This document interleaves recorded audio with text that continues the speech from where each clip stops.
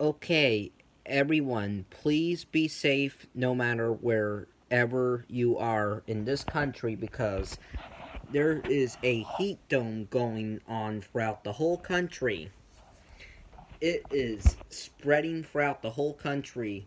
I hope nobody loses their power because if the power goes out during this extreme heat, it will be deadly without any air conditioning if you don't have a plan in place. Luckily for me, when the power goes out, I can just jump in my pool and I survive this. But if you don't have a pool in your backyard and your power goes out during this heat wave and you don't have a plan in place, you are really hosed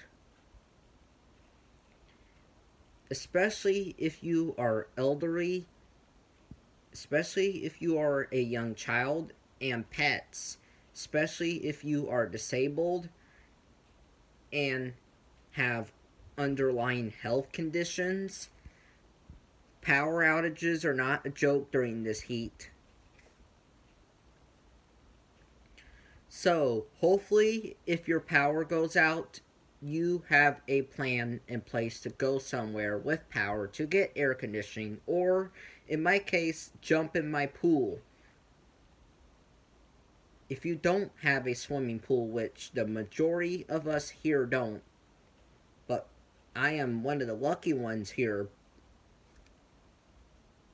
have a plan in place. Put a splash pad in your backyard. Put a sprinkler in your backyard have the kids play in the sprinklers in your backyard.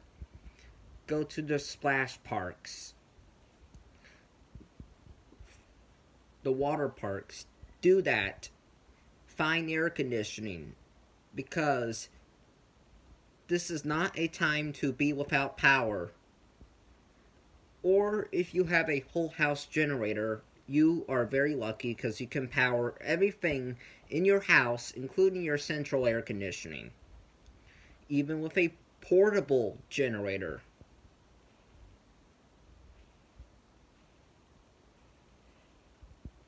And you power some window units, that is good enough.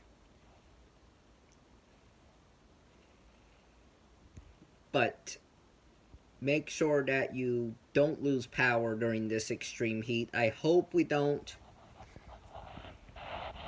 Because air conditioning is a matter of life and death. If you don't have a pool in your backyard, but luckily, if the power goes out in my house, I already have a plan in place right out in my backyard with my swimming pool. Bye.